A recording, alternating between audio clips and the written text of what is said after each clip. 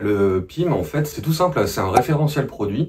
On peut considérer ça aussi comme un forum de travail pour les équipes en interne, équipe marketing, logistique, achat, euh, finalement tous les interlocuteurs de votre entreprise qui vont travailler sur le produit en tant que tel. Le SKU, les produits configurables, aussi bien d'un point de vue euh, conception, pour ceux qui connaissent le PLM, euh, que d'un point de vue achat, on a des informations qui vont être dans un ERP et les informations de logistique. Donc pour connaître vraiment tout ce qui est intrinsèque au produit, des dimensions, des poids, etc. Quand on va diffuser l'information, donc on va collecter l'information depuis l'ERP, on va la retravailler dans le PIM comme je viens de vous dire.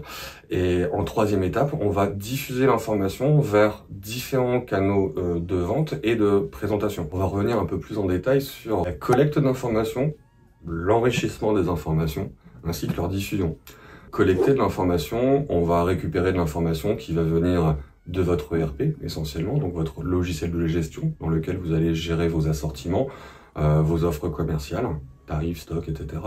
Euh, nous, on va récupérer l'identité du produit, son SKU, son identifiant, et grâce à ce SKU, on va créer toute la coquille commerciale, toute la coquille marketing qu'il va y avoir autour, pour pouvoir finalement vendre de manière uniforme et adapté, contextualisé sur un site e-commerce, sur une application mobile, sur une tablette pour vos vendeurs dans de l'in-store, de l'IoT pour euh, euh, directement avoir des petites étiquettes dynamiques euh, dans vos boutiques, finalement du print aussi, mais le print c'est pas seulement un catalogue de 200-300 pages, ça peut être vos flyers qui peuvent être édités automatiquement.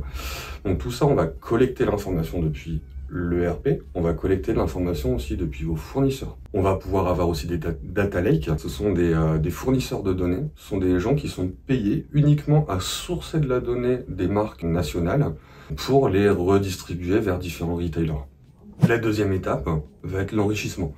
L'enrichissement, faut imaginer ça comme un produit qui arrive sans image, juste avec un code.